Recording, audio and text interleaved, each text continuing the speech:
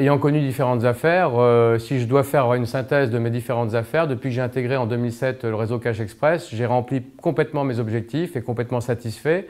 Ça rentre complètement de ce qu'on s'était fixé euh, comme euh, résultat avec, avec l'enseigne et je, je, dirais que c'est vraiment le concept qu'il fallait choisir, qui est dans l'air du temps, mais pas dans, l'air du temps jour J, qui sera dans l'air du temps encore dans 10 ans, dans 15 ans. Donc, euh, ma marge est, la marge qui avait été prévue. J'ai une rentabilité euh, qui est meilleure que prévu, donc un résultat net encore meilleur que prévu. Et je dirais que ça a été vraiment l'affaire pour moi qui, a été la plus grosse réussite.